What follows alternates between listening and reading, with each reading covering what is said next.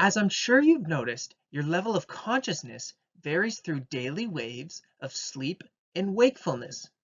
This rhythm is so predictable that we humans plan all of our activities to fit into this cycle. Although people differ in their sleep habits, as some people are early risers and others are night owls, everyone's sleep and activity patterns fit into this general cycle of day and night. This day and night cycle is referred to as circadian rhythm. In Latin, circa means about and dian means day. Circadian rhythm can be generally described as the 24-hour variations in physiological processes. Beyond the most apparent sleep and wake cycle of the circadian rhythm, many biological and psychological processes follow this daily or circadian rhythm. For example, daily human body temperatures decrease during sleep and rise during wake. This cycle resets every day. Many hormones also follow daily patterns of rise and fall. For example, the daily rhythm of melatonin, a hormone that promotes sleep, is opposite to that of daily temperature. It rises just around the time we go to sleep and drops to very low levels during the day. Not surprisingly, self-reports of alertness also vary throughout the day, with highest levels of alertness during the daytime and lowest levels in the middle of the night. Although these rhythms appear to follow the external light-dark cycle, they are not slaves to the schedule of the sun.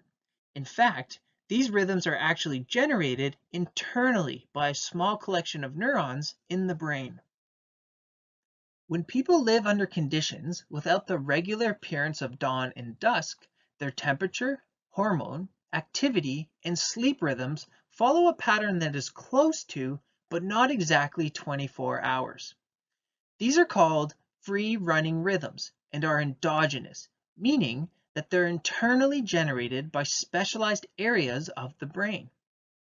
Free running rhythms have been extensively studied in hamsters living in constant dim light. Hamsters love to run on their wheels when they first wake up. However, by the end of the day, they run on the wheel much less, in the absence of any external day cues. However, how can we test free-running rhythms in humans? Most people wouldn't want to live in an environment without time cues. But several people did volunteer to live for a period of months in underground bunkers as part of a research study. They woke up a little later every day, and eventually their rhythms were disconnected from the day and night cycle. Results from this and similar studies reveal an endogenous rhythm close to 25 hours in humans. Free-running rhythms have also been documented in natural conditions of constant light and dark, such as the Arctic and in certain types of blindness, where again, natural rhythms are slightly longer than the 24-hour day. The reason that most of us don't completely free run, but synchronize to the 24-hour day, is because our rhythms are reset each day by light, ensuring that our internally generated rhythms are synchronized to our environment. Shortening or lengthening of our days by traveling across time zones or shift work throws off the synchronization, and it takes time for the body to readjust to the new daily cycle. Let's now consider ultradian biological rhythms, which repeat on a cycle less than 24 hours. One example of an ultradian rhythm is the sleep cycle, when the brain and body undergo a pattern of changes about every 90 minutes. If we take a closer look at an average night's sleep, we can see that the approximately 90 minute sleep cycle repeats throughout the night. Some of this activity can be observed by simply watching someone sleep. Rapid eye movement, or REM, is where the eyes move around underneath the eyelids and burst throughout a night's sleep. The amount of REM changes throughout the night, but the frequency is fairly consistent, kicking in about every 90 minutes. Other changes that occur during sleep, like dreams, are not so easily observed by watching from the outside. But we've all experienced weird and wonderful adventures inside our own heads when we sleep. Studies show that people are more likely to report dreams if they are woken during an episode of REM, more so than non-REM. So, rapid eye movement sleep has a special relationship with dreaming. Non-REM sleep is divided into four separate stages, based upon the depth of sleep. Sleep depth can be measured by determining how hard it is to wake someone up. Researchers do this by using the acoustic arousal threshold, which is a fancy term for the amount of sound required for awakening. Stage 4 is the deepest level of sleep because it has the highest acoustic arousal threshold. REM usually follows stage 4 sleep, but in many ways it's more similar to waking. This is most obvious by comparing patterns of brain activity during the different stages.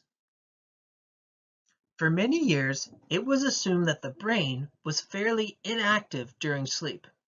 Since a major feature of sleep is a dramatic reduction in movement, early psychologists had few tools to study sleep.